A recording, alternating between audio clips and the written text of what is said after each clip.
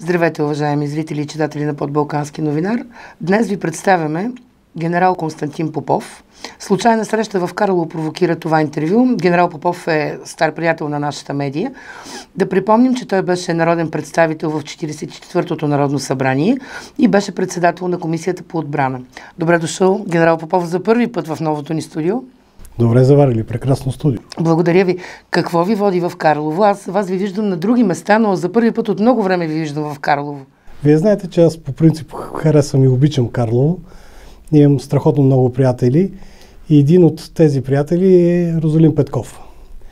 Розалин е кандидат за Народното събрание, един прекрасен човек. Един, С много богата биография, бих казал. Много богата биография с много сериозен опит. Честен, почтен, изключително скромен човек. И тук съм, за да бъда част от неговата кампания, да му помогна, защото смятам, че Розалин наистина би защитавал Карлово, общината, хората в Карлово по един достоен начин със своята много, много сериозна експертиза. Хубаво е Карлово да има представител в Народното събрание, защото в края на краищата Карлово е една развиваща се община, една динамична община и тази община трябва да запази своя дух и своето желание да гради новото си бъдеще. Ако няма народен представител е малко по-трудно. Затова смятам, че Розалин би бил един прекрасен защитник на всички интереси на хората в Карлово. Тоест давате едно приятелско рамо. Разбира се. Генерале, би ми се искало да поговорим по така по-масштабни теми. Как ще коментирате, а, вие сте вече вън от политическия живот официално, но, но виждам, че политиката ви е при сърце. Старите ви приятели продължавате да се виждате с тях и са партийци. Как ще коментирате тези безкрайни скандали в държавата? Ето днес пак излезе, че е, министър Рашков обяви, че ГЕРБ са крали 60 милиона, изнасяли си ги с чували, това са парите за Хемус. Е, ГЕРБ отвърнаха, че това са невъзможни неща и нищо такова не се е случило. Но аз не визирам само този скандал. Говоря изобщо за скандалите, откакто падна от власт. Нормалното правителство дойде служебно. Това е всеки ден. Хората се умориха. Абсолютно съм съгласен. Само нещо да коригирам. Не е паднало а, редовното правителство. Точно така, си изкара мандата се, да, съвсем нормално. Да. Съвсем а, нормално. 4 годишен мандат. А, смятам, че м- обществото ни се отрови има нещо, което нас ни кара м- да се самоизяждаме. Какво е това а, Има м- най-различни интереси и тези интереси не винаги съвпадат с нашите национални интереси. А, не съвпадат с а, общото ни виждане, общия национален идеал, а, да сме заедно, да градиме, да сме положително настроени един към друг. Край на краищата, ние затова сме един народ, за да имаме нещо общо цяло, а не както каза един известен политолог, превърнали сме се в племена, най-различни. Много злоба и е, много агресия. Има много агресия, а, няма а, този морал, ценностната ни система почна да изчезва. Няма уважение към институциите, няма уважение един към друг изключително злобен език. И то, между другото, като казахте за скандали, мен не ми харесва, когато се обвиняват груби, група хора. Ако някой е виновен, си носи пълната отговорност. И съдебната система, всички органи, които са свързани с разкриването на престъпление, на разследване, стигане до присъда, трябва да бъдат абсолютно безкомпромисни. Но вината винаги е индивидуална. Няма обща вина. Обща вина на времето е имало по времето на фашистска Германия. Тогава цели групи, категории хора са били е, е, класифицирани, демонизирани и така нататък. Също, аз не съм привърженик на демонизирането на определена личност. Но, но го виждаме все по-често в последно време. И според мен точно това е, гони се някакъв частен, личен интерес и хората не могат да насхочат личното си его. Трябва ни наистина хубав, достоен елит, който да може да ни увлече с политически послания, положителни, хубави, за да може да ни накара наистина да гледаме напред. Сред всички тези кандидати и различни партии, вие виждате ли как може да се роди този, този политически елит на, на фона на всичките скандали, нецензурни обиди. Беше страшно в последните два, два парламента. Знаете, срамувахме се, че сме българи. Всъщност, тук може би ще изкажа малко обратната теза. Значи само преди няколко месеца, аз изпълням през април месец кампанията и изборите, които бяха на 4 април, тогава изобщо нищо не можеше да се говори на тази тема. Когато аз говорих на тази тема, те ми говориха, че това е утопия. Сега виждате, че поне отделни политици почнаха да говорят и да търсят общ език с други политически сили. Имаме някакъв други... напредък. Има някакъв напредък. А, дори това да е само на, на заявено желание, дори да не е дълбоко осмислено, все пак това е положителна стъпка. аз се надявам, че мъдрият български народ точно това ще каже на тези избори. Ще каже, стига сте се карали, направете нещо за нас. Стига толкова шоу, дайте хляб. Като говорим за мъдрия български народ, който обаче вече сигурно е съвсем отчаян, как прогнозирате, каква ще бъде избирателната активност? Защото аз мисля, че ще бъде много ниска. Хората са уморени, трети парламентарни избори, верно има и президентски, COVID-криза, економическа криза. Удариха ни много кризи едновременно. Тези кризи, аз съм казал не веднъж, не се одобрят, управляват по най-добрия начин. Можеше да се направи много повече и в сферата на здравеопазването. Мисля, че това е общо прието мнение и в сферата на финансите, на енергетиката и така нататък, на културата. Хората имаха много по-големи очаквания. За съжаление, наистина тези очаквания не се сбъднаха и най-вероятно, най-вероятно ние ще имаме първото служебно правителство, което няма да излезе с положителен резултат, защото винаги служебното правителство априори така е, е успешно. Най-вероятно това служебно правителство няма да излезе с особено положителен резултат. А, разбира се, това разочарова хората. Това разочарова хората, а, но все пак но все пак ние не трябва да губим нашата вяра. Това е водещото. Аз затова м- искам да видя хора, които искат да погледнат напред, нагоре и да кажат, да, ние с вас можем да спориме, но ние от една а, фурна хляб купуваме. Ние заедно живееме.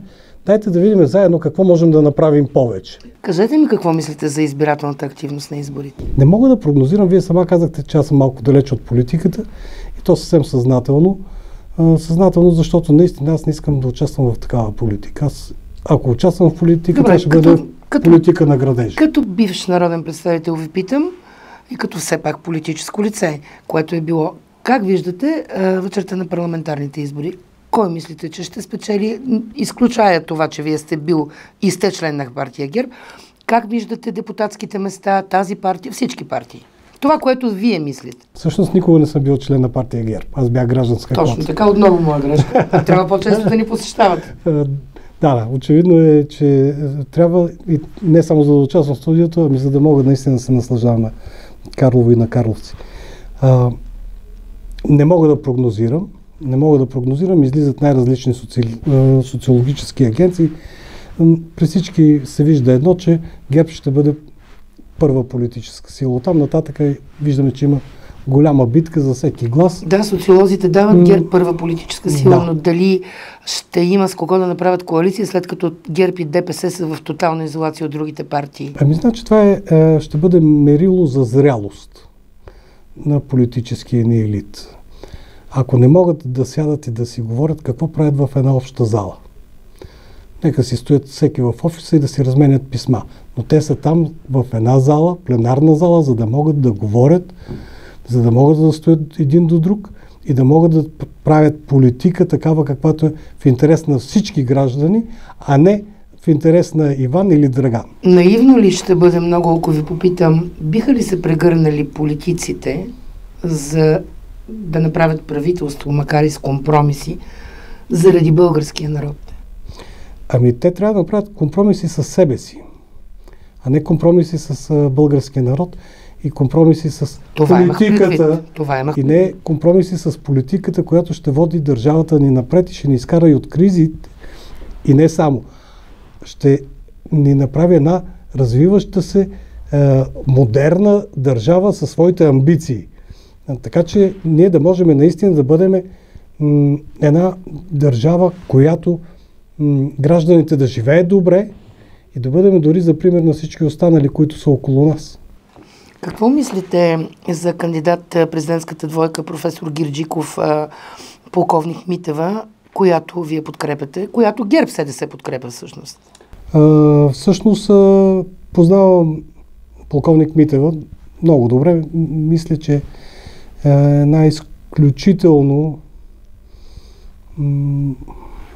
еродирана дама, бих казал. Еродирана а, и много чиста душа.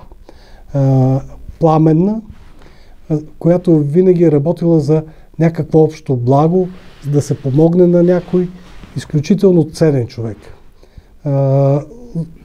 Професор Герджиков не го познавам, но той изповядва една идеология, която е много близка до сърцето ми, която аз винаги съм защитавал, а именно, че трябва обединение.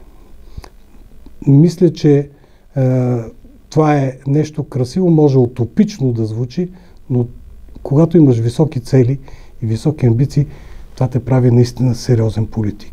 Смятате, че той може да обедини нацията и политиците? Искрено се надявам. Искрено се надявам всеки, който спечели изборите, това да му е целта. Защото президентската институция е една уникална институция. Ако си партия лидер, естествено, че трябва да защитаваш своите избиратели, своята партия, да се противопоставяш на другите мнения, на, да се опиташ да убедиш другите партии и така нататък. Президента не.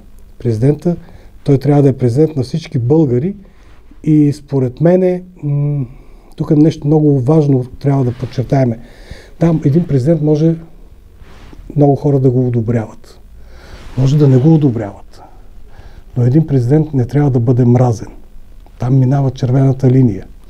А според мен в тази обстановка, в която живееме, има голяма опасност, голяма част от българите, независимо кой ще бъде следващия президент, да бъде мразен. Това е изключително лош атестат за нашето общество, за нашето обществено съзнание и за това какво правят политиците. Вие имате ли амбиции отново да се занимавате с политика?